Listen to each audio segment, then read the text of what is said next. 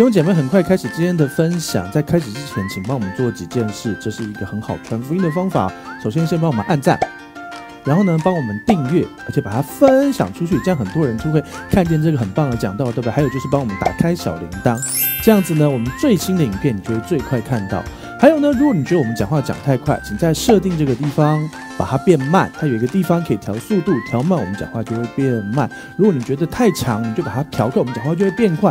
无论如何，愿上帝祝福你。今天的讲到的题目是：你已洗净、成圣、称义了。哎，你们可能如果圣经很熟，弟兄姐妹可能会觉得，哎，这不是哥林多的书信的内容吗？怎么会在使徒行传二十五章讲的？但是你以洗净、成圣、成义，因为跟今天的题目很有关系。好，开始前，让我们做一个祷告。耶稣向你献上感谢，主，我们祝福这里每一位弟兄、每一位姐妹，在你的恩典里。主要谢谢你这么爱我们，祝福这里每一位。主要你的话语被解开，就发出亮光。主要谢谢你，祝福这里每一位弟兄姐妹。主要从你的话，从你那个解开的话语，得着那许许多的祝福，看见你的荣耀，看见你的祝福。主啊，你的同在继续继续的彰显在我们当中。主啊，你的保守孩子的心，孩子的口。主啊，我们从你领受那个话语，主啊，分享出来。主啊，你的话语使我们知道，我们不是只是好像，好像旧约的执事，而不是那个定罪的执事，乃是那个称义的执事。因为主已经大大的悦纳我们了。你知道吗？天父看你。就很像我们刚才看到可爱的小 baby 一样，如此的可爱乘以一千万倍。你看自己的时候，你都觉得怎么可能？我看我自己并不可爱啊，可是天父就是这样看你，他看你就是如此的可爱，如此的宝贝。要让我们活在一个天父非常爱我，耶稣非常爱我，圣灵非常爱我的一个身份里。祝福这里的每一位，奉什么祷告？阿门。你知道吗？这是圣经的经文，我们已经。我们已经被洗净，我们已经被成圣，被被称为圣。然后呢，我们已经称义了。大家知道这是什么意思吗？以前我们常会觉得我们得做很多行为才能够被爱，可是从神的角度，是你已经收纳成为他的儿子跟女儿了。所以你既然是神的儿子跟女儿，你会怎么样？你就会被爱啊，对对吧？呃，是不是有人有点怀疑？如果你自己的生活背景过程有一些那个好，没关系。比如说啊，呃，我一直记得我爸我爸爸教育方法。他那个时候我们家在菲律宾有工厂，所以他就跟我说：“你好好念书哦，你不好好念书，就把你丢去菲律宾当小工哦，就当工人这样。”所以我就很害怕。可是呢，像这样子的方式呢，让我觉得啊，我只要书不念好，我就不会是儿子。我就会变成工人，而且还被丢去菲律宾的工厂。所以呢，我人生一直都没有去过菲律宾。对，直到后来有一次要去之前，还迫切祷告，然后医治恢复，然后才去这样子。而且感谢主，我爸的工厂倒了。对不起，爸爸，为了我自己活下来，你的工厂跟我还是好了，算了，OK。我的意思就是说。你知道你的身份，你的身，你你要知道，无论如何你都是神的儿女。你不会功课好，好好念书才会是神的儿女；功课不好就不是神的儿子、神的女儿。比如这样说好了，你家隔壁的小明他是优等生，这次小明终于是比较优秀，他是优等生。然后呢，你功课就是普通这样子，大概可以考三十名，全班大概三十个人，对。然后呢？然后呢，偶尔可以到二十八名这样，OK。然后呢，隔壁的小明功课非常的好，所以呢，你有一天你爸就说：“算了，我把小明接过来当我儿子，你被赶出去，会这样吗？应该不会吧，对不对？有没有听过一个笑话？有一个有一个爸爸妈就就跟他小孩说：“你再不给我，就把你丢到街上去，再捡一个回来。”然后那小孩就说：“你去捡啊，捡回来也是他爸妈不要的，也是不好的，懂吗？你懂意思吗？对不对？所以我跟你说。”其实这个故事告诉我们：世人都犯了罪，凡被丢在街上的都是不好。不是啊，不是，无论你会被丢在街上都是不好。不是，人都犯了罪就对了哈。反正如果说我们要行为好才能被接纳成为神的儿女，没有一个人可以成为神的儿女，本来就是。请问一下，有没有那种小朋友生出来，然后然后开始开始走路，然后摔摔摔倒一次，你就说啊，这不是走路的料了，以后叫他不要走了，会不会？我们任何一个人，每一个人走路都是走走走走，然后摔倒，然后走走走，慢慢练习练习起来，对不对？我们本来我们的属灵生命本来就是慢慢慢慢成长。你先从爬开始，然后开始走，然后走，慢慢慢慢慢慢的越来越健康，越来越大只，越来越有力气，然后你可以开始跑，然后可以开始跳，对不对？有没有生出来就会跑的？就母腹一出来就开始跑这样子？没有啊，对不对？哪吒，好了，没有，那是那个神话故事。OK，好。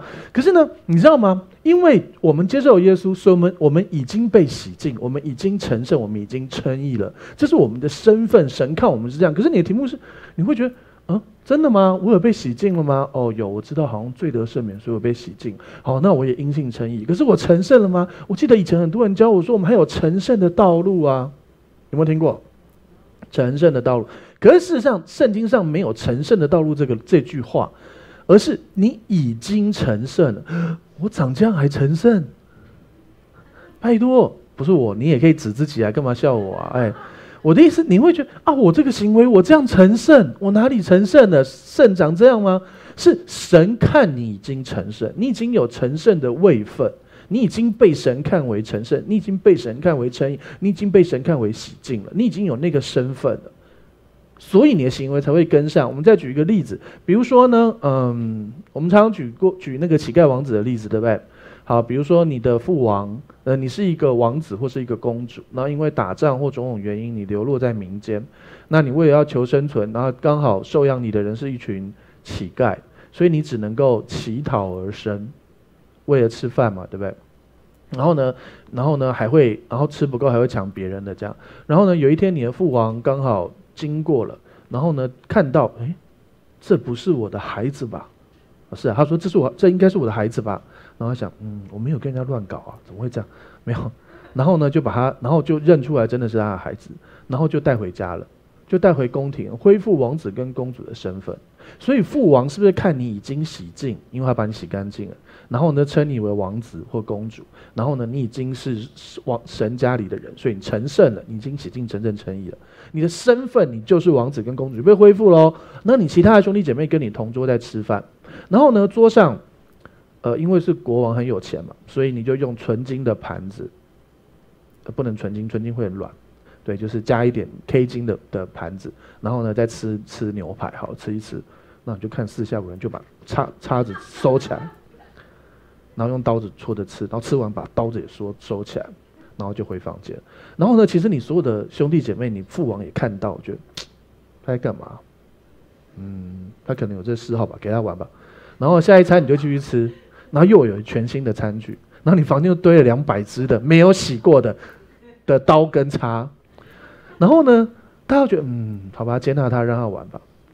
可是呢，你想为什么他要偷这个东西？因为对他而言，他以前在当乞丐的时候，黄金的刀子跟叉子，开什么玩笑，价值连城，可以换我十天的吃饭的钱啊什么的。可是等到他偷了两两三百只，房间都发臭了，很臭，在那里之后，然后仆人觉得，这个王子或这公主，这嗜好真的是很奇怪。我可以帮他洗吗？洗了他会生气，对不对？而且分明。我们我们有整个柜子装的漂漂亮亮、全新，他喜欢收集，为什么不拿好一点，要拿这个用过的嘞？然后呢，他久了他就发现他不用偷，因为本来就是他的，所以之后他就不再偷刀子跟叉子了，他改偷盘子。对，其实盘子比较值钱嘛，对，刀子跟叉子。OK，好。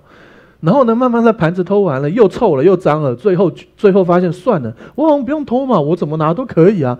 这个时候他恢复他的身份，他本来就恢复他的身份，他是王子跟公主，对不对？可是他在那刻他发现，原来他不用做那些事了，他不用保护他自己，他就是神的儿子，神的女儿，你就是已经是了，懂意思吗？所以我们的行为可能还没跟上我们的身份。你已经洗净，已经成圣，已经称义了。但是我们的行为，你是一个成圣的人，怎么会做这些事？啊，你是一个王子，怎么会去偷叉子？而，因为你以前在最终的生活训练你，让你变成那样。因为你想要靠自己才能活下来，你要靠自己努力抓住才能够有盼望，才能够活下。因为你你饿过三天五天，饿到快死掉，所以你太痛了，所以你没有办法从那个痛苦里面出来，所以你太习惯了。可是等你偷了两三百只，房间都臭了以后，你发现你根本不需要做这件事，然后你开始活出你已经洗净、你已经成圣、你已经称义的生命，懂吗？所以，请跟前后左右四个人说：你已经洗净、已经成圣、已经称义了。你已经洗净、成圣、称义，你知道吗？当你跟人家说，别人又对你说，你看你刚才就听到八次了，对不对？因为原则上应该有四个人跟你说，不一定，搞不好。有六个人跟你说不一定啊，那不是那数学问题啊。总而言之，就是你要知道你已经洗净，已经成圣，已经称义。可是你的行为有没有活出那个成圣，有没有活出那个称义，已经活出那个洗净是另外一回事。但是我鼓励你，你你已经是王子跟公主，不要再偷叉子了，本来就是你的，好不好？你要你要整套，你喜欢收集这个，你就跟你爸讲，他就直接把那个放在木柜子，漂漂亮亮的整套放在你房间。然后你后来觉得我收这干嘛，对不对？你懂意思吗？不用再靠自己做这一切。OK，我们上礼拜讲到《使徒行传》第二十四，我们讲到什么？上个题礼拜的题目叫什么？你们有没有来啊？我有没有来啊？我应该有来吧，对不对？你们有来吗？对不对？跟保罗有关什么？好了，他们还记得有推骨。好了，结束。犹推股是第二十三集，二十三集是沉睡的犹推股，二十四集叫保罗的选择。你们晓得为什么你要记得犹推股吗？因为我们终于成功的，大家知道犹推股是谁吗？就是坐在窗户旁边听讲到摔到摔下去死掉。然后我们帮你想到一个梗，就是他姓谷，他平常做犹推的，所以大家都叫他犹推股，所以你们就记到现在。好，OK。然后保罗没有用梗，所以你们就不记得。上题上次的题目叫保罗的选择，好不好？因为保罗面临他生命中的选择，所以我们来回顾一下，也跟我们今天题目很有关系哦。OK，好，《使徒行传》二十一章四节，请念。找着了门徒，就在那里住了七天。他们被圣灵感动，对保罗说：“不要上耶路撒冷去。” OK，好，他们在回程回到耶路撒冷的路上。然后呢，他们住在一个地方，然后呢住了七天。那个地方的门徒被圣灵感动，对保罗说：“不要上耶路撒冷。”所以圣经上说被圣灵感动，这个就是圣经上说的被圣灵感动，就是神说不要上耶路撒冷，没有问题嘛，对不对？所以那个地方的门徒被圣灵感动，对保罗说：“不要上耶路撒冷。”神已经跟保罗说：“不要上耶路撒冷喽。”好，然后呢，大家知道吗？我们之前。看第二次宣教旅行也有神有叫他们不要去哪里，不要去哪里，对不对？然后要去呃马其顿传福音。OK，所以你可能会觉得啊，神怎么会叫保罗不要去耶路撒冷？神也叫保罗在很多地方不要传福音啊。OK，好，所以圣灵其实已经感动保罗不要上耶路撒冷喽。好，我们再来看使徒行传二十一章十一节，请念。到了我们这里，就拿保罗的腰带捆上自己的手脚，说：“圣灵说，犹太人在耶路撒冷要如此捆绑这腰带的主人，把他交在外邦人手里。”好，到了我们这里，我们这里就是凯撒利亚，该撒利亚。到了该撒利亚呢，他们就有一个先知叫做雅加布，你一定不记得对吧？因为我没有给你梗。唉，真的是。真是幸福啊！你看，我们以前要听梗都要去补习班，对不对？学校老师总会给你梗，对不对？学校老师只会叫你滚，不是啊？没有，没有，没有，没那么夸张了。但是有一些会。好了，OK，呃，我们祝福我们的正规教育，然后我们也祝福我们补习教育。总而言之，反正我们大家就可以领受到正确的。OK，好，到我们这里呢，雅加布就拿保罗的腰带捆上自己的手脚。我实很好奇，要怎么捆上自己的手脚？好，OK，然后就说圣灵说犹太人在耶路撒冷要如此捆绑这腰带的主人。简单说就是犹太人在耶路撒冷要捆绑保罗，把他交在外邦人手里。OK，所以呢，有一个先知领受了一个说你在那里会遇到这些事情。所以呢，弟兄姐妹他们也领受东西，他们果然继续劝保罗不要去耶路撒冷。他们劝保罗不要去耶路撒冷，可是保罗怎么回应呢？好，使徒行传二十一章十三节，请念。保罗说：“你们为什么这样痛哭，使我心碎呢？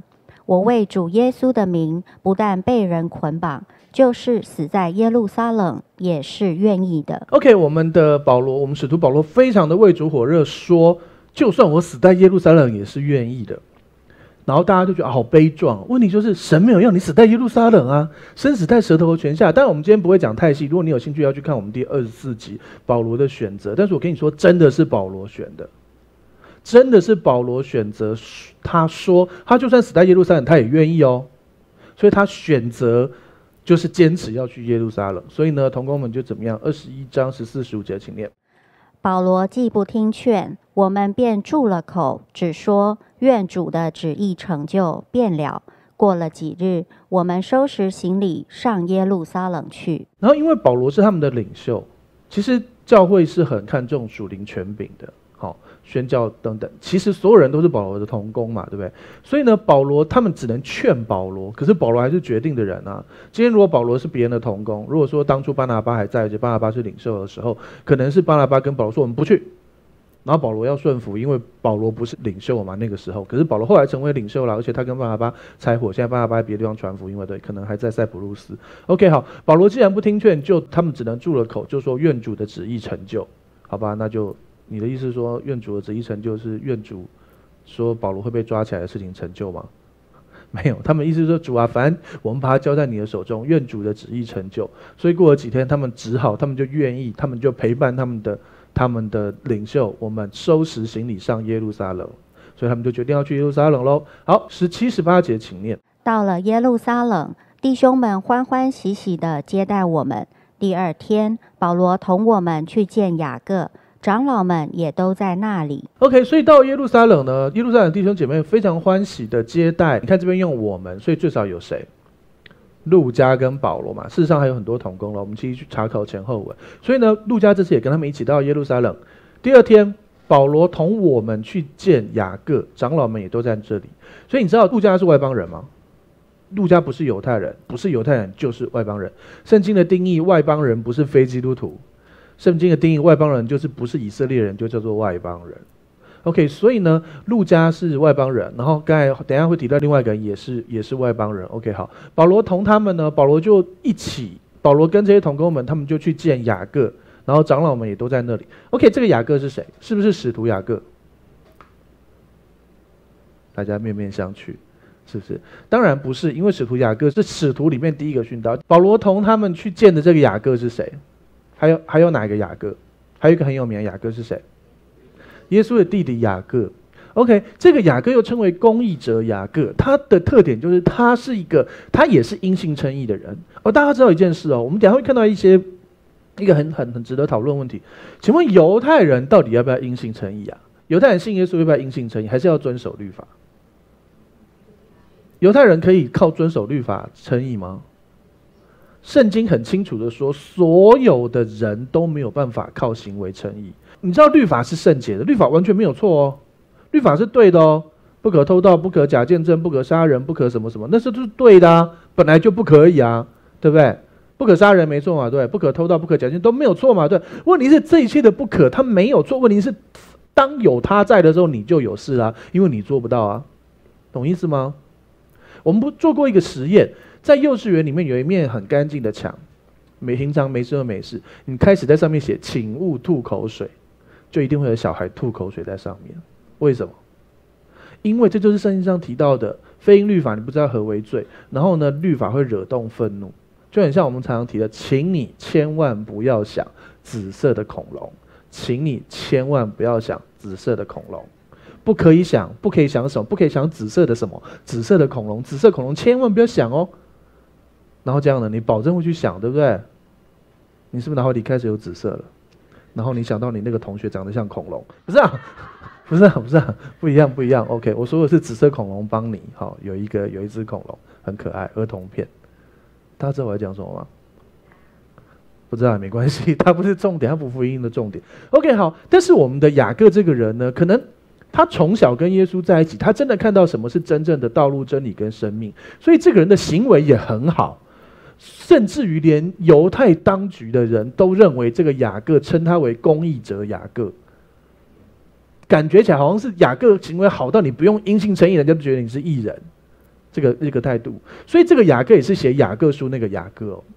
OK，所以雅各跟一群长老们他们都在。这个时候出了出了一件事情，我相信这也就是为什么神不要保罗到耶路撒冷的主要原因。好，我们来看发生什么事。好，十九节，请念。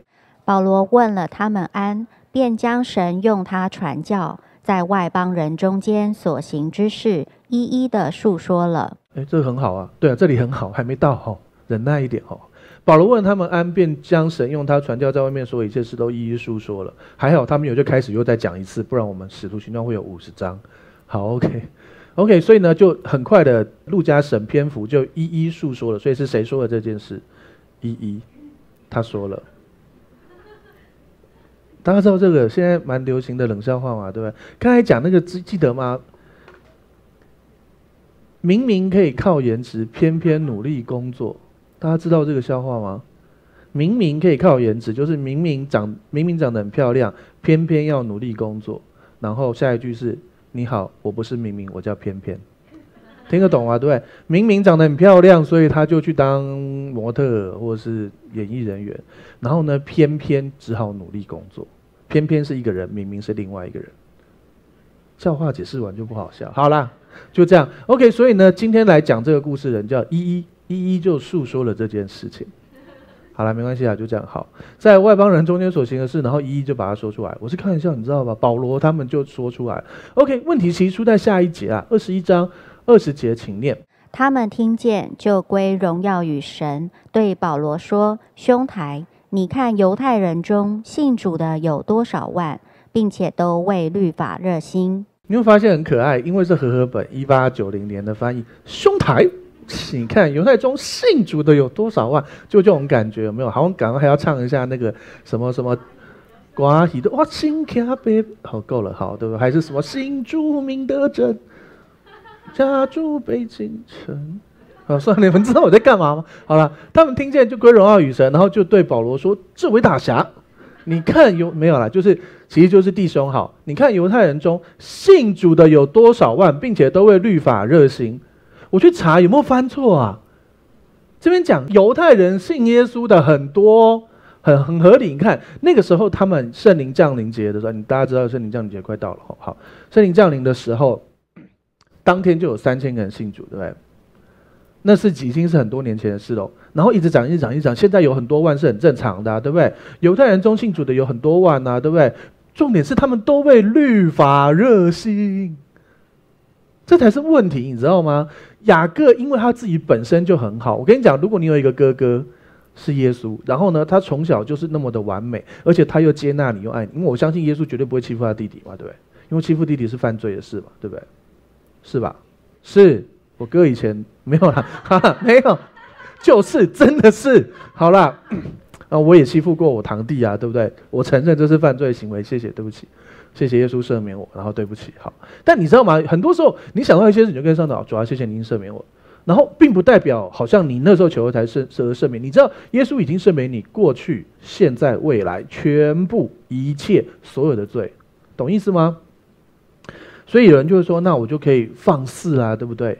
真的会有这种人，这种人就很像是你说你请朋友去吃饭，然后 menu 给他说啊，你随便点，那你知道平常饭量就是叫一份，因为你请客，他叫了三份还叫最贵的，有没有这种朋友？他还是你朋友吗？他就算是你朋友，来一次以后，你们大概也就还是朋友，但是绝对不约吃饭了，对不对？所以呢，策略技巧就是都让主人点，在旁边煽风点火就好了。没有，我是开玩笑的，就是都让主人点就可以。好，不要煽风点火。OK，好。所以呢，我要跟你说，神赦免我们过去、现在、未来所有一切的罪，确实有人会放纵的说：好，那所以神既然赦免我一切罪，所以我就不用再改正我的行为了。我们前面是不是提到，我们已经洗净、已经成圣、已经称义？那是神看我们的身份，我们是王子跟公主，已经被带回父王的家。但是为了你自己好。你把那些臭掉的餐盘放在房间要干嘛？会很臭啊！还有，为了你的父王的荣耀，你想象一下，如果外国的呃国王来看到你一个国王的孩子偷他的盘子，甚至连那个外国国王的盘子都偷走，会不会很丢脸？会嘛？对不对？可不可以引起外交问题，甚至打仗？对不对？所以，为了荣耀的缘故。为了你父王的荣耀的缘故，为了你自己好，为了你的国度，为了所有这一切，你要有好的行为。可是你没有好的行为，你还是神的儿子跟女儿，你还是父皇的王子跟公主，知道差别吗？所以你还是要有好的行为。但是那个好的行为不是我要有好的行为，我要有好的行为，我要有好的行为，就很像是假设有一个弟兄他比较软弱，他很爱看，他他就是会东看西看的，对。然后呢？然后他就一大早跟他啊，今天绝对不可以，绝对不可以，绝对不可以，绝对不可以什么，绝对不可以啊，然后就开始想，那不是一样？你懂意思吗？就是不是不可以，而是简单这样讲好了。你有没有那种，比如说你看看你很喜欢看的电影，或者是或者是玩游戏，或者是做一些重要事，做到你都不想要吃饭，就是忙到或者是开心到一直在。我小时候打电动都不用吃饭的，这我承认，我承认。好，然后我都这样子打，然后我觉得会瘦，这样没有了，连瘦都没有讲，就真的瘦了。小时候蛮瘦。好，就是说。当你专注于一件你很感动、很很喜欢的事情的时候，你根本就忘了那些部分。所以问题的解决方法根本不是我不要犯罪。如果我不要这件事有效，那耶稣就不用替你死，知道吗？如果我不要，哦，我绝对不可以再做这件事，这种东西有效，那你早就改好了，你还来信耶稣？不是，当然这两件事。我的意思是说，你。你就是没有办法靠自己，你才要靠神啊！你从小我们大家学了礼义廉耻，学了生活伦理，学仁义道德那些东西可以帮助你的话，你以为耶稣很喜欢上十字架？耶稣一点都不喜欢上十字架，你知道吗？耶稣在前一天晚上，他在克西马园跟天父说什么？主啊，十字架，哦耶，太爽了，让我明天来享受吧。有这样吗？没有，他怎么说？他说：“主啊，如果可以，请撤去这杯。如果他祷告到这里，我们就完了。”因为他他也是百分之百的神跟百分之百的人，他可以跟主说：“主啊，如果可以，请撤去这杯。”就这样，那我们就完了，因为我们就不会得救。但是还有他说的下一句：“主啊，如果请撤去这杯，但不要照我的意思，要照你的意思。”所以耶稣有百分之百的人性跟百分之百的神性，他事实上他很不想上十字架的。谁想上十字架？被虐狂也不会想上十字架啊。真的不会，因为那是会死的，好吧？OK，可是耶稣必须为了我们上十字架，了解吗？所以那是极大极伟伟大的爱。OK，好，所以这边说到，其实我们如果能够靠自己的努力来解决问题，问题早就解决了。你都今年几岁了，对不对？你能够解决问题，你早就解决了。原则上是，我说一些心里面问题就是不行，你才需要靠救主啊，对不对？OK，好，所以呢，这边提到事实上。犹太人信主，很多人信主，可是因为他们时代有一个很棒的领袖叫雅各，雅各的行为非常的好，到大家也都学他有很好的行为，然后开始信主，而且为律法热心。可是呢，核心问题就来了，为律法热心，我们不是读到如果想要靠律法称义会怎么样？信就归于虚空，应许就废弃了。我们继续往下看，所以保罗事实上在耶路上遇到一个罪人，你知道他在前面被人家怎么打，被人家怎么弄都没有关系哦。神的恩典都那一切都复辟哦。可是他到这个地方，保罗被迫做了一些选择。你看，因为犹太人中很多人信主，而且那么多信主的人里面，他们都为律法热心，所以其实你看耶路撒冷的教会也没有受到很大的破坏，因为他们只是觉得他们就是呃犹太教的另外一个宗派，叫做拿撒勒教派而已啊。就是他们觉得啊，你们的拉比比较弱一点，从拿撒勒来。你知道拿撒勒就是穷乡僻壤的打鱼的人，他们的经济的政治、经济、宗教都在南边，然后拿撒勒是在北边，是比较穷的人，懂意思吗？好，OK，好。然后呢，我们继续往下看。所以其实保罗看到的问题，首先这边看到就是说，那个时代背景是有一群犹太人信耶稣，而且全新的遵守律法，为律法热心哦。好，二十一章二十一节，请念。他们听见人说：“你教训一切在外邦的犹太人离弃摩西，对他们说：不要给孩子行割礼，也不要遵行条规。” OK，好，请问一下，他们听见的这个东西对或不对？你去看蛮简单嘛，你去看哥林多前后书，你去看菲利比书，你去看加拉太书。加拉太书写的还蛮早的，确实这个时间点加拉太书应该已经写出来哈。你教训一切在外邦的犹太人。事实上，保罗是教训所有外邦人。你不要再依靠摩西了，你要依靠耶稣。因为律法是借着摩西传的，恩典和真理是从耶稣基督来的。所以你看，本来就应该离信摩西啊！摩西可以让你得救哦。有摩西教吗？你是信摩西教吗？信摩西得永生吗？摩西为你钉十字架吗？不是嘛？对不对？所以呢，对他们说不要给孩子行割礼，也不要遵循条规。确实啊，保罗确实在他的经文里面说到，那真受割礼的是心灵受割礼，而不是肉体受割礼的，啊，对不对？然后也不要遵循条规。没错，保罗在罗马书很清楚的说，不是靠行为去做这一切事情啊。所以其实他们听见了也没错啊。保罗确实是这样教的，啊，没错吧？我们都有读过嘛，对不对？保罗书信都有嘛，对。好，二十一章二十二到二十三节，请念。众人必听见你来了，这可怎么办呢？你就照着我们的话行吧。我们这里有四个人都有愿在身。然后呢，我们的耶稣的亲弟弟雅各，耶路撒冷教会的领袖雅各，公义者雅各说：“啊，大家都听见你来了，这怎么办呢？你就照着我们的话行吧。”他在说服保罗，请你来做这件事哦。如果你有去外地讲道，或是去别人教会分享过，你会知道一件事，就是你要尊重在地教会的权柄。知道意思吗？就是说，比如说我去一个教会讲道，他就会告诉我说，那个牧师告诉我，你不要讲启示录哦，你就不是不要讲启示录哦。然后我就去了解，原来他才刚讲完一个启示录的系列，他希望我不要讲启示录。哦，OK 啊，我就尊重啊，反正我本来就没有要讲启示录啊。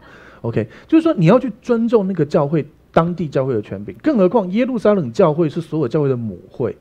耶稣代是要耶路撒冷为人为我们死，为我们的罪死，为我们复活，对不对？然后福音确实是从耶路撒冷、犹太全地、撒玛利亚直到地极做主的见证。所以呢，他们非常尊重公义者雅各，耶稣的弟弟雅各。从血缘来说，哇，耶稣的弟弟雅各，哎，对不对？你看，为什么雅各可以这样？我相信，因为他有一个这么完美的哥哥，从小爱护他、疼爱他，然后又活出真理。他，哎，彼得、雅各、约翰跟耶稣三年半就可以这样。那请问一下，雅各跟耶稣三十三年半，好算三十岁好了。三十岁耶稣出道嘛，他跟耶稣可不好？他比耶稣小两岁，他跟耶稣二十八年，那生命应该很不一样嘛，对不对？他亲眼看见道成的肉身活在我面前的，跟我一起吃饼干，而且每次每次别人的哥哥都在抢他的东西吃，他都把他的东西给我吃。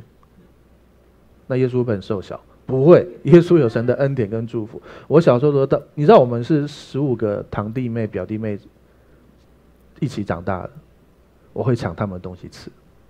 嗯，他们没有很瘦小，感谢主。好了，OK。那真的，这我跟你讲，人的罪性就像你不用教人就会犯罪，你不用教他就会说谎，你知道吗？小朋友不用教就会说谎，你不用教他就会抢别人东西吃，没错嘛。说谎是犯罪？抢别人东西吃是不是犯罪？所以世人都犯了罪，亏缺神的荣耀啊！对啊，是真的啊！你不用教小 baby 就会啊。如果你问哪一个小孩子从小就没有罪性，那是不可能的，除了耶稣啊。OK，所以这是人的原罪，本来人就会这样啊。OK，好，所以呢，这个时候我们的公益者雅各就。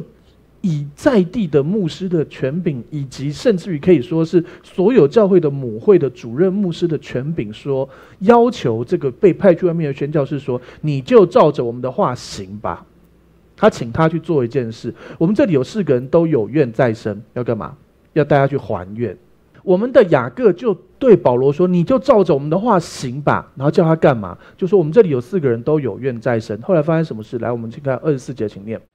你带他们去，与他们一同行洁净的礼，替他们拿出规费，叫他们得以剃头。所以大家知道，他们平常都不去理法院的，都去圣殿剃头。好，没有了，还是有理法院。OK，好。之前有提到保罗在一个地方叫间隔里，然后也剪了头发。OK，所以其实你看，你带他们去就是。雅各说：“保罗，你带这四个人去，跟他们一起同行洁净的礼，替他们拿出规费，叫他们得以剃头。规费跟剃头问题都不大，因为跟核心信仰没有关系。可是洁净的礼呢？我们继续往下看，二十一章二十四节的后半段，请念。这样众人就可知道，先前所听见你的事都是虚的。”并可知道你自己为人循规蹈矩，遵行律法。OK，你会发现雅各想要让大家看见什么？保罗做这些事，而且知道你保罗是知道你遵行律法啊。他想要让大家看见保罗遵行律法，怎么办？其实保罗遇到一个很大的问题啊，雅各。耶稣的亲弟弟雅各，公义者雅各，所有教会的母会耶路撒冷教会的负责人雅各要我去，而且我是宣教士回来，我要不要做这些事？而且我从小常常都在做这些事，所以呢，雅各要他做这些事，让人家知道我是遵行律法。可是保罗在所有保罗的书信在告诉大家什么？律法是一边，是摩西传的恩典和真理是在一起的，是从耶稣基督来的。保罗在核心的不断传讲律法跟恩典差别，整个罗马书、整个加拉太书都在论述这件事。罗马书一直不断的用很多的角度，五章、六章啊几章，然后加拉太书整个就在论述这个。所以你知道这个问题就是，他跟保罗说，你要去做一些事情，让人家看见你遵行律法。好，二十一章二十五节，请念。至于信主的外邦人，我们已经写信拟定，叫他们谨记那祭偶像之物和血，并勒死的牲畜与奸淫。即便是雅各这种状况，他还是在强调一件事：至于信主的外邦人，我们已经写信拟定。记得之前有耶路撒冷会议，对不对？耶路撒冷会议开了这东西，就是要。把那个既有像之物写勒死的牲畜跟奸淫这四个点不要去做就好了。这是外邦人，外邦的基督徒。你看信主的外邦人，谁是信主的外邦人？就是除了信主犹太人之外，所有人都是信主外邦人的。所有信主的，除了信主犹太人之外，所有信主的都是信主的外邦人，没错嘛？对不对？那你是不是信主外邦人？我们当中有犹太血统的吗？有戴小帽的吗？哎，戴大帽不算。好，小帽没有没有戴小帽。你们有没有看过犹太人的小帽？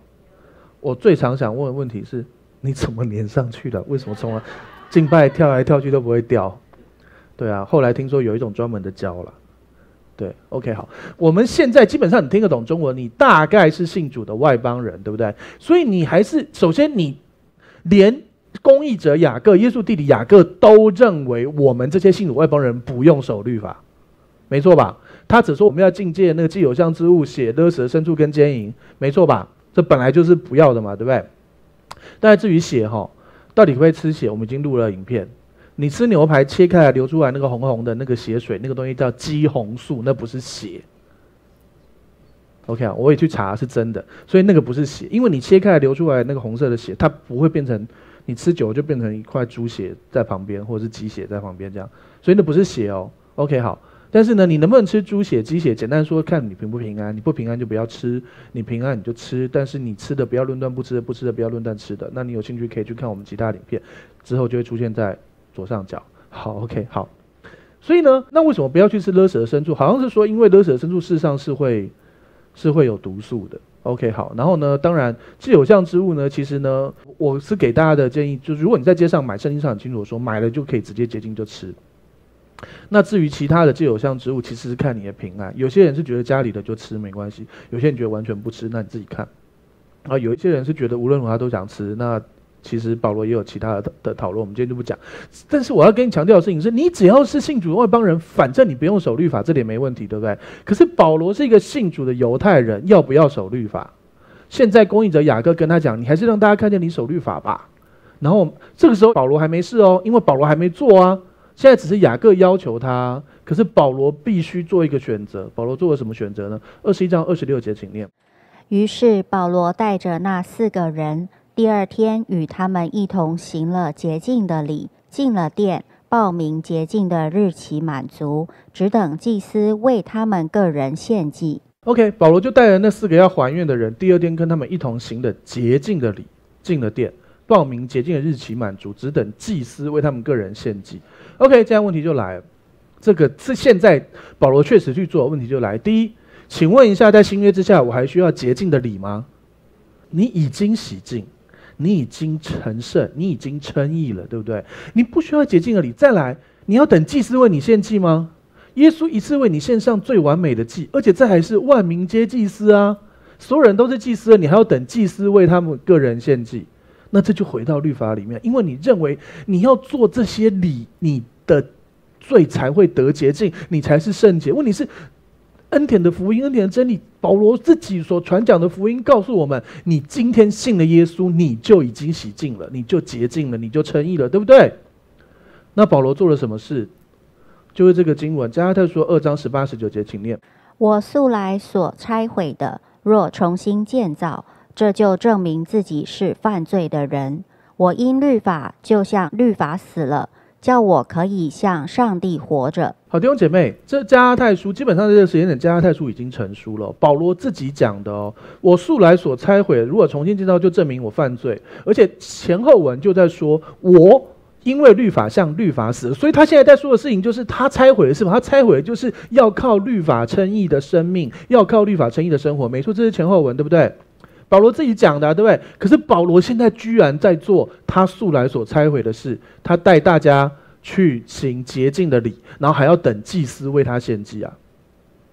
他自己就是祭司啊，万民皆祭司啊，对不对？我们现在是君尊的祭司，圣洁的国度，神的儿女，对不对？弟兄姐妹，希望你不要介意，我并不是在定保罗的罪，我只是告诉你，保罗也是人，他也不完美，唯一完美的是耶稣。但是你要知道，保罗就算软弱了，后面神还是救他。保罗并没有最后真的给他死在耶路撒冷，他不是说他想要死在耶路撒冷，没有啊，保罗还多活了好多年。可是呢，有很多神学家也有一样的看法，保罗因为这个错误的选择，他有非常长的时间不能够去传福音。应该说，他就在整个罗马的法律的管辖之下，他只能很有限的跟来拜访他的人传福音，或是他碰得到人传福音。可是保罗之前，他三次宣教旅行去每个城市，几乎全城都听到福音，整个城都听到福音了。所以，因为保罗他也是人，而且他确实很尊重雅各等等，所以他去做这件事，他去行了洁净之礼，还等祭司为他献祭。啊，这就是旧约，这就是律法啊，他就去做这些律法的事，所以这些事情确实成为他的他的一个网罗，卡住他不能传福音。我知道，其实神学上有有另外一个角度是啊，不要那么苛责保罗了，保罗这样也是没有办法啊，什么什么。对，可是事实上真理就是真理，但大家还是要知道，保罗最后还是活下来，没事。即便他犯了一个很严重的错误，还是没事。而且他自己就去犯了他自己素来所拆毁的，而且是向律法死的这件事情，他自己又去做了。但是即便这样，保罗还是称为神所大用的使徒。你看，从我们看整个使徒行传，保罗犯的错也没有在少的，对没信耶稣之前犯的罪超多的，对不对？大家知道保罗第一次登场在哪里？就是尸体犯，然后，呃，大家用石头打他，然后保罗在旁边帮大家看衣服。保罗下一章，保罗就会开始讲这个故事，大家回回顾哈。为了非常爱神的来迫害神的教会，因为他以为那是为主发热心。OK，好，那他信耶稣以前的罪，OK，那后来当然他信了耶稣，可是后来他继续慢慢慢慢成长里面，事实上他还是犯了一些错啊，比如说他当面斥责彼得。说你怎么可以水火装甲？可是耶稣的教导是应该要私下的两个人讲。可是其实有些时候我们也会犯这个错啊。有些事有些事情你就是很生气嘛，你会这样嘛？可是又怎么样呢？神还是使用保罗，神还是爱他，啊对不对？他其实不应该当面跟彼得，彼得也有错啊，保罗也有错。保罗应该私下拉彼得去说：“哎，那个。”我们是不是不要这样？呃，犹太人没来就敢跟外邦人吃饭，等犹太人来的时候，你就不敢跟外邦人吃饭了，这不是水火装甲吗？他可以私下讲啊。我相信彼得也是有被圣灵同在充满的人，他会说：“弟兄，谢谢你。”好，然后他就去，他就去改。可他在众人面前抵挡彼得啊。可是圣经上确实说不应该要这样嘛。耶稣教过我们，对不对？私下，私下不行的话，就两三个人私下跟他讲；再不行的话，再找教会来处理，是这样的，对不对？OK，然后再来，他是不是那个时候他跟那个 巴拿巴他们在讨论要不要这次旅行出去的时候要不要带马可的时候，保罗没有带马可啊？为什么？因为他因为马可上一次因为种种原因离开他嘛，所以他就这样，那是怎样？你没有饶恕喽？你记仇喽？但什么理由我们不说，我们不去定保罗的罪。问题是保罗也不完美，可是确实后来保罗承认马可。在传福音上对他有益，而且还希望马可再过来帮他，所以那显然你一开始叫人家不要来，现在要叫人家来是怎样？你懂意思吗？就是说保罗也会错啊，可是即便保罗犯错，他人就是神所大用，所以你不用觉得好像你会犯错，所以就不行。如果你认为你会犯错不行，你神不能使用你，那就很像是那个小孩第一次走路就跌倒啊，不是走路的料啦，叫以后不要走路。这个概念，我们当中哪一个是走路的料？照这个逻辑，我们现在其实每一个人都是爬来教会。对啊，谁第一次走路从此就走的那么好？怎么可能？你又又不是马，马听说一生下来就会走了，对不对？哎，你们不知道吗？不知道有什么关系？那不是重点。好了，人生下来是不会走，人生下来连爬都不一定会爬，好不好？会吗？应该不会吧？要一阵子才会爬嘛，连翻身都不会翻身嘛，对不对？好，所以你是不是走路的料？是吧？那就是啦。保罗也是成长出来的，他现在也在另外一个面对的成长。他素来所拆毁的，重新建造了。他向律法应该是死了，可是他现在去做了一个按照律法的规则的东西。所以后来发生什么事呢？其实大家会讨论另外一个问题哈。那可是保罗不是也说了这个经文？哥林多前书九章二十节，请念：像犹太人，我就做犹太人，为要得犹太人；像律法以下的人，我虽不在律法以下，还是做律法以下的人，为要得律法以下的人。OK，好，所以有些弟兄姐妹，有些神学家也说，嗯，对啊，可是保罗就是因为他想要得到律法以下的，所以呢，他虽不在律法以下，还是做律法以下，为要得律法以下的人呢、前提是你有没有发现一件事？刚才已经提到，那些人通通都信耶稣了，信主的有多少万？都热心律法，你要得着他们什么？他们已经信耶稣啦，这是一件事。第二件事，题目来了。前面说我素来拆毁的，不要再自己重新建造，这要像律法死。后面提到说啊，我不在律法以下，还是做律法，为要得律法以下的人。那这要怎么平衡呢？很简单嘛，你想要去跟杀人犯传福音，所以你去杀一个人，是这样吗？你也想要，你要去跟小偷传福音，所以你也去偷东西，不是嘛？所以他所谓的事情是跟怎样就做怎样的人，是融入他们，不要让他们觉得。请问一下，耶稣是呃罪人跟税吏跟妓女的朋友，所以耶稣为了我讲的夸张一点哦，耶稣为了要传福音，所以他也去摆了一个摊子在路上收税，还是耶稣为了要传福音，所以去当妓女的客人？不可能嘛，对不对？可是耶稣是不是人就是罪人、税吏、妓女的朋友？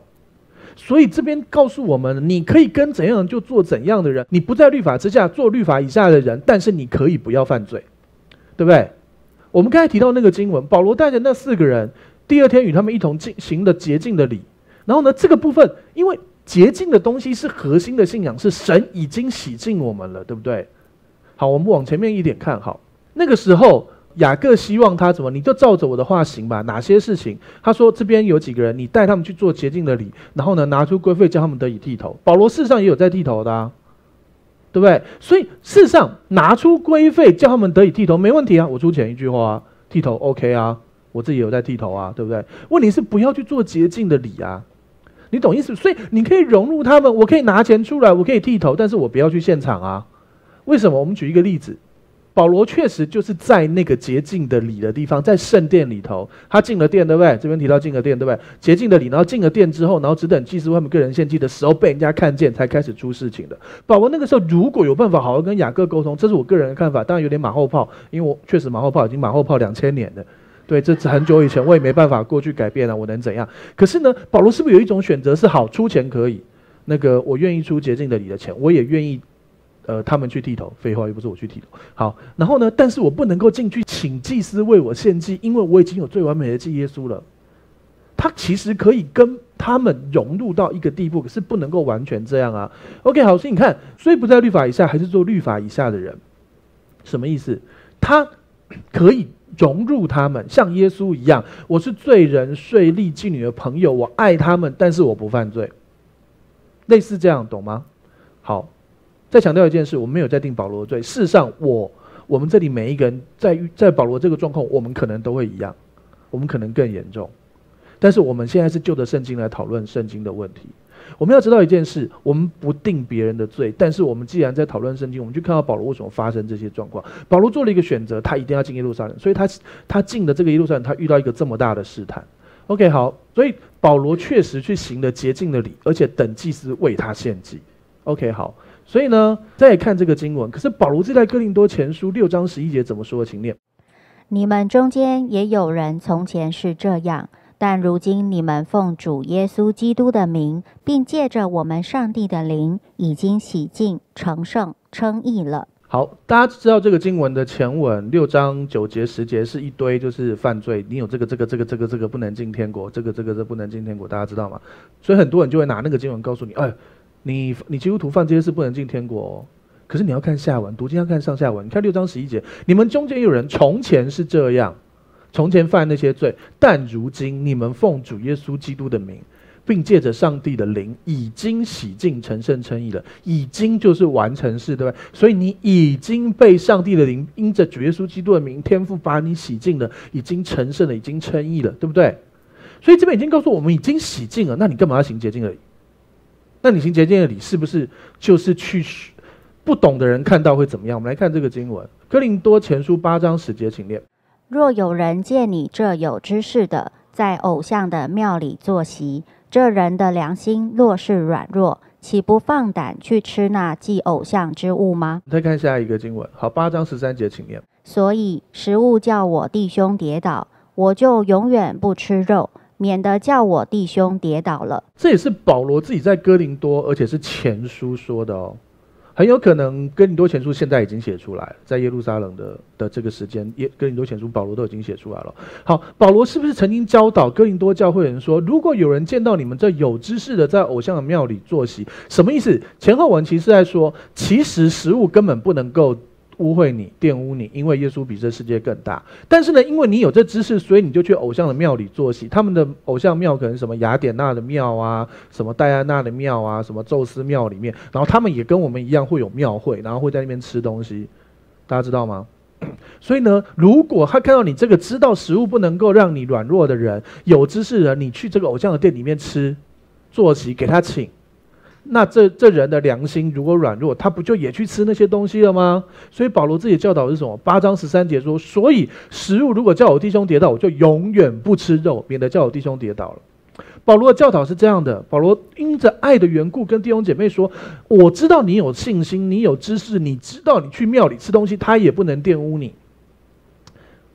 但是你因为你有这个知识，你去，但是有人因为看到你，比如你想象一下好了，你假设你看到。假设你今天看到呃某一个庙大庙会，然后主桌主桌坐了周神柱牧师在吃，你有什么看法？周牧师借我举例，因为你比较德高望重吼，对不对？这人的良心岂不是若是软弱，岂不放胆去吃那祭偶像之物吗？对不对？所以保罗说，你这样子，你宁可永远不吃肉，也不要让弟兄跌倒。但我跟你讲，保罗是吃肉的，感谢主，还好。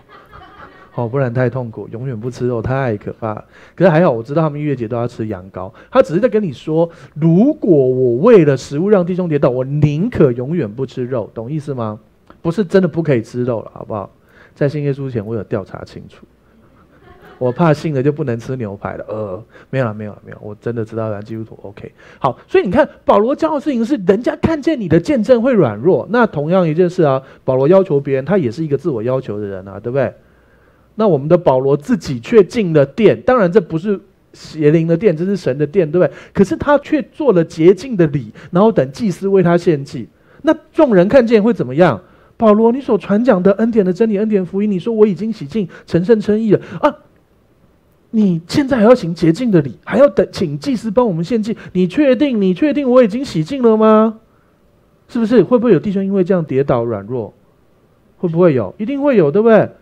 一定会这样的嘛？对，所以保罗事实上其实他真的不应该去做这件事啊。他进圣殿去，可以，你可以进圣殿传福音，你可以进圣殿祷告，OK，哪里都可以祷告哦，对。可是你去行洁净的礼，还要等祭司帮你献祭啊？那你不是告诉我们，我们自己就已经有最完美的祭了，对不对？希伯来书很可能是保罗写，里面讲到最完美的祭那一切东西，对不对？那保罗你怎么会这样？你教我们说，连去庙里面吃东西都不行，免得人家跌倒，结果你自己为了。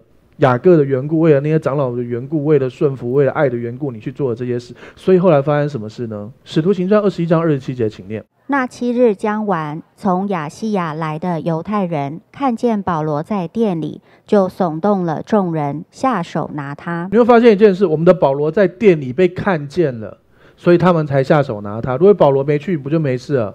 他说：“我出钱嘛，他们自己去剃头啊。”我出钱嘛，我愿意奉献钱呢，你们自己去处理啊，我不要进去嘛，不，我怕，我怕人家看到我去，好像洁净了力，人家就会跌倒，所以我不去，这样就没事啊，对不对？好，继续往下看，二十一章二十八节，请念。喊叫说：“以色列人来帮助，这就是在各处教训众人，糟践我们百姓和律法，并这地方的。他又带着希腊人进殿，污秽了这圣地。因为保罗进了圣殿。”然后呢，他就被人家栽赃说：“你看保罗来糟蹋百姓跟律法，然后还带着希腊人进殿污秽了圣殿。因为你知道外邦人不能进圣殿啊，有外邦人愿，但是你不能够进去更里面，对不对？可实际上并没有啊。二九节是因为他们看见了有一个以佛所人叫特罗菲摩跟保罗在城里，他就以为保罗带他进了殿，其实保罗没有，你懂？他就被栽赃了。你会发现这整件事情，如果神那时候叫他不要来耶路撒冷，他不来耶路撒冷就没事，对不对？好，那他来耶路撒冷，基本上已经挡不住那个公益者雅各的要求，因为在地的牧师又是所有母会、所有教会的母会的领袖，要你去。其实他自己也很爱去圣殿的，我相信他就在那里受教长大的，所以呢，他就去啦。所以去了就开始发生这些事啦。而且其实这个以佛所人根本没有进去圣殿啊，可是他们就开始栽赃他，因为他真的在圣殿嘛，对不对？然后呢，全城就震动，百姓就一起跑出来抓住保罗，拉他进殿，殿门立刻就关了。所以你会发现一件事：如果保罗那个时候挡住了，保罗说好，OK，规费我出，剃头他们剃，当然了，剃我的头干嘛？好，就是规费我出，然后啊，我为他们祝福祷告。但是对不起，雅各，我真的不能去，我不想要让人家看见我想要遵守律法，就没事啊。可基本上他进了耶路撒冷，他很难挡，很难呐。OK，所以这就是我猜，我个人领受，这就是神不要保罗进耶路撒冷的核心原因之一。所以保罗还是去啦，去了就开始遇到这件事，所以后面很多年他就被卡住了。他就是在监狱里面一直不断的，还是在传福音，可是他就不能够像以前他去以佛所称，全部人都听见福音，他去哪里全城都听见福音啦，对不对？现在全城都是来抓他的，合城都震动了，百姓很多人跑来抓保罗。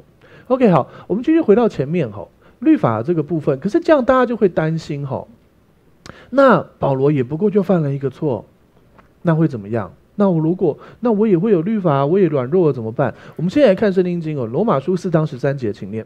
因为上帝应许亚伯拉罕和他后裔必得承受世界，不是因律法，乃是因信而得的义。好，我们继续四章十四十五节，请念。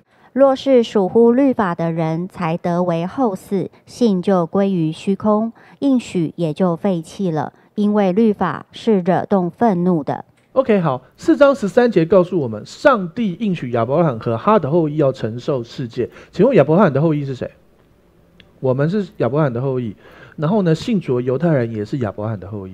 事实上，罗马书有论述过，是不是所有犹太人都是犹太人？其实简单说，就是信耶稣的人才是真正好。这样说好了，亚伯拉罕的后裔就是所有信耶稣的人，没有问题吧？对不对？好，那请问信主犹太人是不是亚伯拉罕的后裔？当然是嘛，对不对？所以信主犹太人要承受世界，不是因律法，乃是因信而得的义。这个经文就告诉我们，还有罗马书四章的论述，连犹太人都可以不用再守律法而称义了，所有人都是因信称义的。今天讲的比较深哈。OK，好，所以呢，上帝应许亚伯拉罕和他后裔要承受世界，神世上要我们承受世界，那个世界是这个字的原文是 cosmos，是宇宙。大家知道 cosmos 吗？就是希腊文，好。如果有看《圣斗士星矢》的话，燃烧吧小宇宙，他们用的就是 cosmos，有效就知道我们在讲什么。好，承受世界是承受宇宙 cosmos，不是因律法，乃是因信而得的义。你知道吗？就是说，如果你觉得我要做得好才能够承受，你会定睛的是我做的好不好，而不是我定睛的耶稣做的那么好。所以呢，那个时候你就定睛的，其实核心都是定睛耶稣啦。你定睛的耶稣，你根本不会想靠自己，好不好？就很像是你定睛的耶稣，你根本不会想要去犯罪，你知道吗？就很像我说的嘛，比如说小时候我很爱打电动，打电动呢打到不想吃饭，对不对？打到不想吃饭，为什么？因为这个电动太好玩了，我太想玩了嘛，对不对？那如果你能够定睛了耶稣，定睛耶稣，被耶稣爱吸引，被耶稣哦，就是你每天透过读经、祷告、敬拜各样的事，被耶稣摸着吸引，你根本不会想犯罪啊！不是说耶稣说你不可以犯罪。而是你根本不想啊，懂意思吗？这样说好了哈，用生活的例子，假设你今天去参加一个，你有没有看过那种电视节目的比赛？就是什么一分钟内进去卖场，你随便你搬搬的都是你的，有没有看过？有没有看过？然后你有没有发现那些人带护具啊，什么要冲啊？我看到一个最厉害的，他跑很远很远，然后就推了一台电视，一台平板电视。大家想说你白痴啊，这拿一台平板电视？结果他就他推了平板电视，他不是推到终点，他是推着平板电视到 iPhone 的那个区，然后把所有 iPhone 扫下来放在平板电视上推进去。你懂意思吗？平板电视不是重点，重点是平板电视是一个平台，让他可以放一堆 iPhone，然后他推进去，然后那个主办单位脸都绿了。一台 iPhone 多少钱？对不对？他。你用手拿，你这样抱抱十个好不好？一个一台七好，这台六十五寸，这台六十五寸的电视可以放几个 iPhone？你告诉我，整个店里面所有的手机都可以放得下，吧把它叠很高推出去，这样就结束了。我算一下，如果那个五十个，他最少拿一百万。那天拿那个，因为你知道每一集都是有预算的嘛，对，但很可怜，那个那那个执行制作会很可怜。好，OK，好，没关系。总而言之就是呢。为什么要讲到这个东西？我要讲的事情是，问你，当这些参赛者在赶着要去拿这些 iPhone 电视的时候，他们在这过程里面会想犯罪吗？哦，考验那个工作人员讨厌我想骂他脏话，你哪有空做这件事啊？你专注着、定睛着要得到前面找我来得的奖赏，对不对？iPhone 在那边闪耀着等你在那个起跑点，然后在倒数十秒的时候这边等，我的动线首先去那里拿到。平板电视往左边推，再过来一点，然后把柜子打开，通通扫下去，回来刚好一分钟。很多想好，你定睛着你要得的奖赏，你满脑子你可以执行这个奖赏。这一分钟之内，你会有想犯罪吗？你有时间去犯罪吗？你可以啊，你可以转过去骂工作人员，工作人员尽量骂，快点骂，耶，这样我们的经费比较少，用力骂，快点骂来。或者是你会突然间觉得你想要突然想看色情刊物吗？你白痴啊！还是你会突然间想要上网看不该看的？还是你会突然间觉得你想要做什么不对的事？不会嘛，对不对？因为你定睛着你要得的奖赏啊，对不对？当然这是一分钟嘛，对不对？当你定睛的耶稣，你不断定睛的耶稣，你要得他从他从上面招你来得的奖赏。你定睛的耶稣的时候，你根本不想犯罪的。但是当然了，因为这个是一分钟，一分钟不犯罪，大家都做得到。还是你没有办法一分钟不骂脏话？这个有点难。你现在已经没骂了，做的很好，祝福你。好，那请问有，比如说有，就算有一个人吸毒，他毒瘾犯了，他那一分钟他会不会撑过去？当然啦，我卖一只 iPhone 就可以再去买更多毒啦，这是他的想法，这是不对的，懂我意思吗？就是说，即便连毒瘾犯的人都一定会撑过那一分钟的。所以你定睛的耶稣，然后让那个耶稣的荣耀、耶稣的同在更大、更大、更大，使你的生命越来越被他摸着，越来越像他。然后你就可以越来越，圣经上事实上提到，我们定睛的耶稣，我们就会渐渐变成主的样式。我们以前跟主中间是有隔阂的，我们有罪。可是我们信耶稣之后，那个好像幔子打开了，那个、那个、那个幔子打开之后，我们定睛耶稣，我们会有那个另外一个版本翻得很好，是我们越来越像耶稣，渐渐变成主的样式。OK，好。可是这里面唯一能够拦阻这一切祝福发生的，让你不能承受世界得到一切祝福的是什么？就是律法。所以四章十四节、十五节说：若是属乎律法人才得为后世，信就归于虚空，应许就废弃。所以这也为什么你有很多神答应你的东西，其实是被废弃了，因为我们还是会属乎律法。可是题目来，那可是我怎么有办法不要属乎律法？它是一个过程。神如果说不要说承受世界好了，承受世界、承受宇宙听起来太大了，承受地球也太大，承受一栋一零一，感受一下好了啊。如果上帝不是，你不要讲什么承受世界，上帝要给你一栋一零一，那你就会觉得一零一一百零一层，那平均起来，我现在已经几岁哦？他一年要给我两层，可是问题是我们其实我们生命中的律法还没有完全的除掉，所以那个东西是慢慢慢慢慢慢慢成就的。可是突然间都对，说他是突然间就下来，整栋一零一就就变你的了。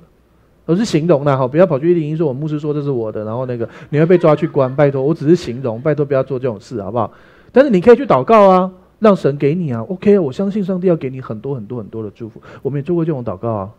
我们也去过了，我们还是相信会成就吼，那是一个过程。所以信就归于虚空，应许就废弃，因为我们属乎律法。然后呢，因为律法是惹动愤怒的，律法是叫人受刑，所以我们保罗差点就被抓去受刑，而且惹动大家的愤怒啊。所以保罗也被骗去守律法啦，洁净的礼啊，请祭司帮他帮他献祭啊，是不是？这是圣经上说，不是我自己说的啊。我知道有不同神学家有不同的看法，可是我真的这样读起来真的是这样啊。OK，好，但是没有关系。保罗后来还是好好的，而且保罗事实上他仍旧，你知道，呃，新约的新约有几篇，二十七卷书，对不对？然后保罗确定是保罗写的十三卷，对不对？加西伯来书他就十四卷，对不对？十四卷他就过半喽，二十七分之十四是过半，对不对？那你知道，保罗就算犯了这个错，有这个软弱。但是你每天读他的书信，因为他的书信，圣灵透过他的书信给你的光照、感动，还有我们许许多多的事情。我们现在读罗马书，我们刚才读的很多都保罗的书信，或者保罗带着这些门徒所做这一切事，保罗人就在天上有属灵的被动收入。大家知道什么是被动收入吗？你买一间房子租给别人，比如说我们中间就有弟兄姐妹是这样啊，自己住一个不是太大的房子，但是自己的房子买来然后租给别人，然后中间每个月赚差价，也有人这样啊。这就是被动收入啊！你今天坐在这个地方讲到，你的房子还在帮你赚钱啊，没错吧？如果你还没有的话，你可以祷告跟神说啊，好，好，你懂我意思吗？保罗也是，他现在在天上啦，他不能够在地上加添什么了，但是他的作品到现在仍旧的不断得着灵魂，而且他的作品里面的成功跟失败，对跟不对，也都在得着灵魂，也都在得着奖赏。那你会觉得啊，我又不能写圣经怎么办？对，对你千万不要写圣经，拜托哈，我们教会不是异端哈。但是你可以去传啊，你可能不晓得，你今天按一个分享转出去的那一个，你在呃 Facebook 上面留了一个留言说啊，这篇讲到给我生命很大的帮助，跟大家推荐。假设是这样，你都不晓得你哪一个朋友按了之后读开来看的信耶稣，这奖赏多大？就算有一天你不在了，他还是在那里啊。他还是可能会按呢。假设了哈，我们举例，比如说我们，嗯，我们高雄领领袖的母亲才刚过世，那我们我那天去高雄主持了追思礼拜，然后呢，前一天晚上大家是先要聚集要讨论这些事情的，就在那天晚上，过世的这位姐妹的孙女就绝志受洗了，马上葬就归在这个阿妈身上啊，然后同时另外一个弟兄也同时受洗，这就归在阿妈身上，因为我们是因为这样才聚集的啊。那这就是阿妈的的天堂被动收入啊，懂意思吗？而且我们那天所有亲朋好友来，我们都给他带绝志祷告，阿妈都被他赚了一大笔才走，好不好？开什么玩笑？走之前还干一票这样子，散。这就是我们教会对大家都可以干一票，什么对话？OK，好，我们用比较通俗的方式。所以弟兄姐妹，你知道吗？你都不晓得你做一个东西，比如说。之前有人传各种东西，你就去网络上去分享，然后呢，假设一下阿妈搞不好传了一个长辈图，就是信耶稣真好，然后他的另外一个长辈读了，哦，信耶稣真的很好啊，我来信一下。阿妈现在在天堂，他还有被动收入啊，懂吗？天堂的奖赏啊，所以你知道保罗即便。他写出来都是圣经上那些都是神所漠视，那绝对不会有错没有问题的，不用担心。但是保罗身为人类本身，还是有罪心会软弱啊。那保罗在这边软弱里面，人就从我们的学习，他还是得奖赏啊。所以这就是恩典。就算你不小心在律法里头，你软弱，神的恩典还是复辟着你在律法这件事情上面成为一个祝福啊。所以不用担心，本来就不是。除非你现在已经有移动一零一的，赶快跟我挥挥手，否则我们大家可以继续往前。就算你有移动一零一，你也还要继续往前，因为神给你的呼召是承受世界，了解吗？所以我们要忘记背后，努力面前。你软弱怎样弄错我怎样，再来就好了。你只要一条命在，神的恩典祝福就是不断不断不断，每一天都是新的。之前错又怎么样？我就再来啊！保罗事实上他也悔改了，他原本想要死在耶路撒冷，后来他。之后我们再来看，他就发现他决定他不要死在耶路撒冷啊，那是另外一件事。这是之后，OK 啊。所以你看，我们刚才提到，所以全城的人就开始，因为他们以为保罗带了一个外邦人进店，事实上保罗没有啊，对，所以呢店门就关了。然后呢，他们那时候就想要直接杀了保罗。有人报信给营里的千夫长说，耶路撒冷合城都乱了。然后呢，千夫长就带着兵丁跟几个百夫长跑下去，然后他们看见千夫长来了，就止住不打保罗。他们就发现，哎，治安官那个警察来了，军队来了啊，不能打，就不打保罗。所以保罗已经被人家打一顿了。你看是不是惹动愤怒的？律法惹动愤怒，律法会受刑，被人家打出来是一种受刑。是啊，就是我们不要去，但是就算软弱了，弄错没关系啊。那你怎么让自己不要在律法里面？主耶稣曾经说过，你们已经被我的道洗净了。耶稣对门徒们这样说。所以听正确的讲道，洗净你的思想，唱正确的诗歌。正确的歌词洗净你的思想，用正确的角度读圣经洗净你的思想，信的对，活的对。OK，就止住不打保罗，对不对？然后呢，千夫长就把他捆起来，问他是什么事情。然后呢，反正大家就叫来叫去，每次群众大家都叫来叫去，叫来叫去。所以呢，保罗他就把保罗带进营楼里面去了。然后呢，到了台阶上，众人就一直边喊说，众人在后面喊除掉他，除掉他，是不是很像耶稣那个时候？可是不一样啊，保罗可以不用承受这一切了。耶稣要，耶稣是必须承受这一切的。耶稣不承受这一切，我们就糟了。可是保罗承受这一切，跟不承受这一切，我们都得救了。保罗不承受这一切，其实也更好啊。他的福音可能会广传。后来保罗最后是在罗马殉道被砍头的。事实上，他去耶路撒冷这件事引致他未来后来去罗马最后被砍头啊。事实上，他还有他如果没这次没有去耶路撒冷听神的，他搞不好可以再多活二十年、三十年，搞不好还像约翰一样活到一百岁，对不对？但是当然，我们现在都是马后炮，而且马后炮两千年的。可是总而言之，就是我们可以从他们的对跟错误里面学习。但是我们不要定人家的罪，因为我们自己不会比人家更好。我们光是为神承受这些，你敢真心的说，主，就算为你失去生命，也要去耶路撒冷吗？我们不去耶路撒冷，原因不是因为我们顺服神，是我们不敢去，好不好？因为你知道会被绑起来，y k y k。可是这个时候，有些时候属灵的懦弱一点也好，重要是顺服神。可是老实说，你看保罗这么的坚持，所以他是一个非常非常棒的使徒。所以神也使用他写了十三或十四卷书帮助我们。我们不定他的罪，但是也在他的生命中学到经验。所以众人就在后面喊着说：“除掉他，除掉他。”然后呢，将要进营楼的时候，保罗就对千夫长说：“我对你说句话可不可以？”然后他就那个千夫长很害怕啊，你会讲希腊话，因为希腊话是比较官方的，是有教育人才能说的，所以他就以为他是一个凶徒。带了四千个人的叛乱分子，一个埃及人，这是历史上你去查，其实是有这个人的哦。然后保罗怎么回他？我本来是犹太人，我生在基利家的大树，大树是一个大学城，那时候那个地方有一个大学，可是那个时候大学城不是现在想的大学，是一个很有学术、很尊贵的城市，就对，不是无名小城的人。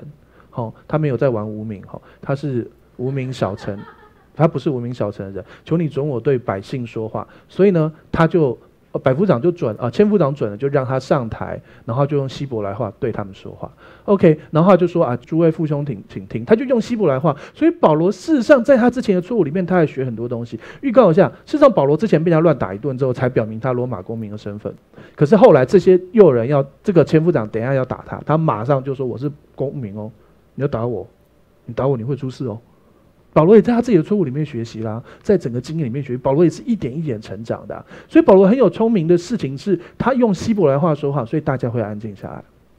哦，然后呢，他就开始说他是他自我介绍，我是犹太人，我生在大树，然后呢，我在加玛列的门下。这时候很聪明，要讲加玛列，因为加玛列是大人物，造他这样子。他就说哦，我是谁的徒弟这样子，懂吗？对不对？然后呢，严谨的在律法跟你们一样这样，所以他先博得大家的那个关系。所以弟兄姐妹，其实我们今天时间大概先到这个地方。保罗开始演讲，我们下一篇就会开始把保罗，其实保罗也是一次回顾他曾经做过的事情的回顾。那我们今天第二十五集讲到这个地方，弟兄姐妹，请你去思想一件事：我们其实看到保罗是一个传讲不要遵守律法，要靠恩典的人，对不对？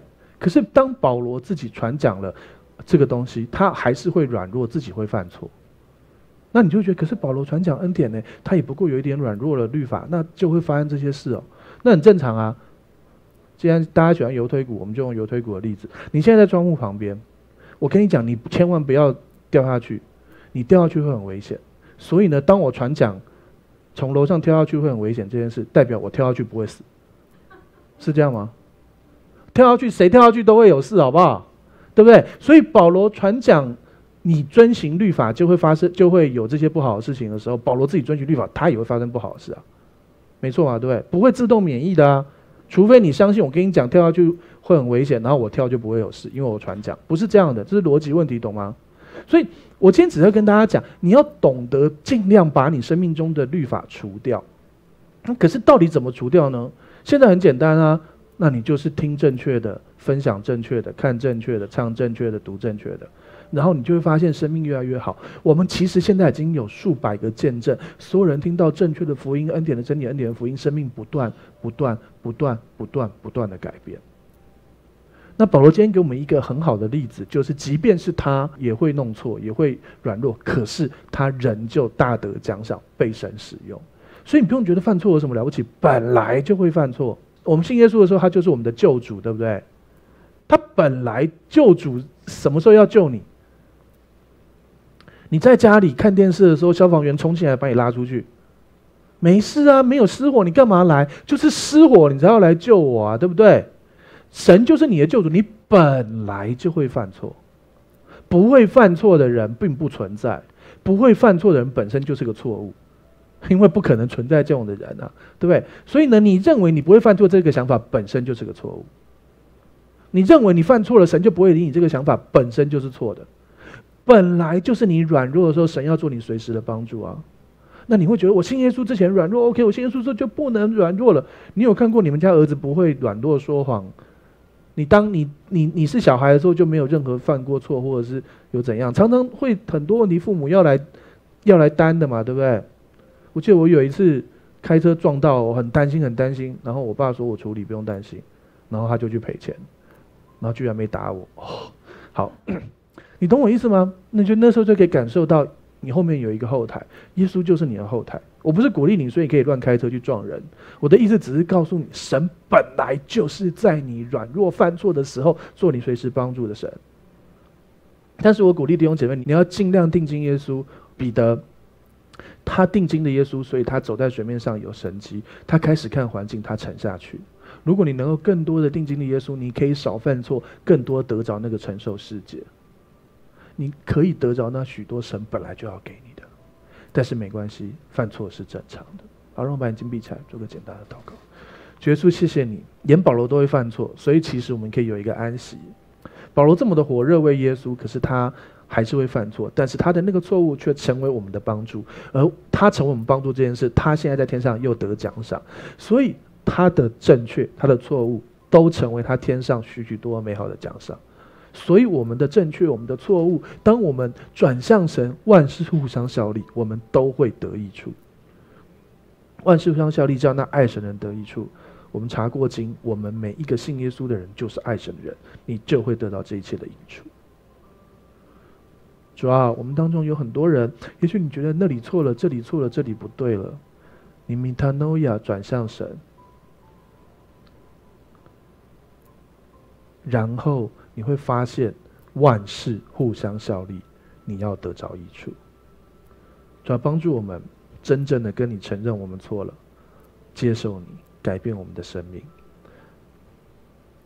但是我们在这过程里，只要你真心的相信耶稣基督为你死，为你复活，接受耶稣基督做你的救主，他早就已经赦免你一切的罪，你一定可以越来越好，更像耶稣。奉什么祷告？阿门。好，让我们站起来，我们来做。信仰宣言，打从心里念一遍。我相信上帝差派他的独生爱子耶稣为我的罪死在十字架上。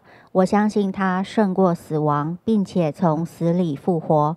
我现在是上帝所爱的孩子，因他流的宝血，我大大得福，蒙受极高的恩宠及深深被爱。我永远脱离疾病。灾害与死亡，耶稣如何，我在世上也如何。好，请闭上你的双眼，打开你的双手，领受本周的祝福。主，我们向你献上感谢。主要今天我们看到保罗，上次保罗的选择，这次保罗的呃一些错误，但是那个错误仍旧成为保罗的祝福，也成为我们的祝福。我们不用害怕犯错，因为神本来就是在哦，在洪水泛溢之时，人坐着为王，直到永远的神。所以，我们生命中也许有些东西好，也许东西不好，但是没关系。神按照你完全的本相接纳你，你就是尽管在神的面前跟主讲：主啊，我现在状况是这样，我是这样。然后你来介入，来帮助我。上帝要开始做奇妙的事情。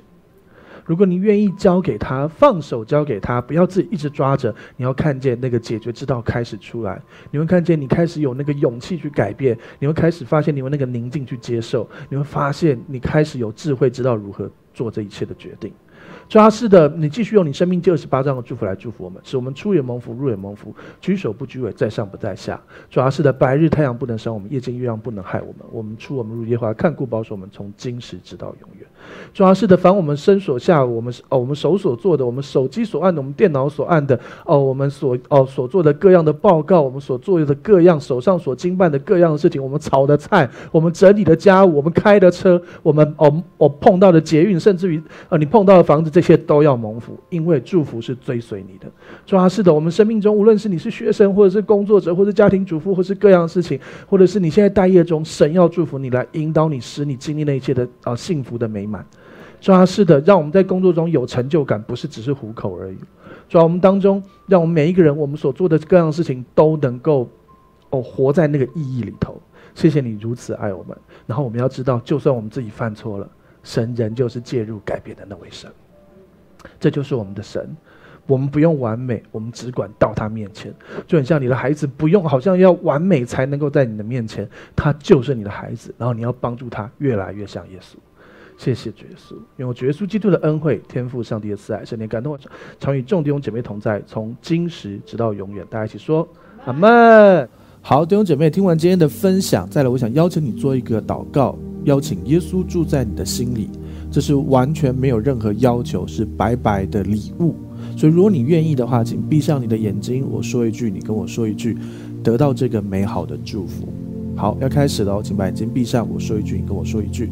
亲爱的耶稣，亲爱的耶稣，我邀请你，我邀请你住到我的心里，住到我的心里，来祝福我，来祝福我，做我的救主，做我的救主，做我生命的主，做我生命的主。谢谢你赦免我一切的罪。谢谢你赦免我一切的罪。从今天开始，从今天开始，我不再一样，我不再一样。我进入蒙福的人生，我进入蒙福的人生。我要看见美好，我要看见美好，看见丰盛，看见丰盛，看见荣耀，看见荣耀。亲爱的圣灵，亲爱的圣灵，请你现在来充满我，请你现在来充满我，来引导我的一生，来引导我的一生，使我经历超自然。使我经历超自然，亲爱的阿巴天父，亲爱的阿巴天父，谢谢你带我回家，谢谢你带我回家。我现在是有家的人，我现在是有家的人，是有后盾的人，是有后盾的人，是有背景的人，是有背景的人。我是神的儿女，我是神的儿女。这样祷告，这样祷告，是奉主耶稣基督的名求，是奉主耶稣基督的名求。阿门，阿门。